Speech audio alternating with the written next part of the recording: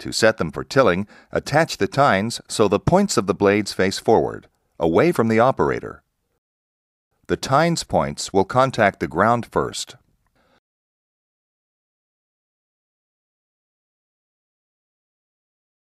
For cultivating, reverse the tines so that the points of the tines face backward, toward the operator.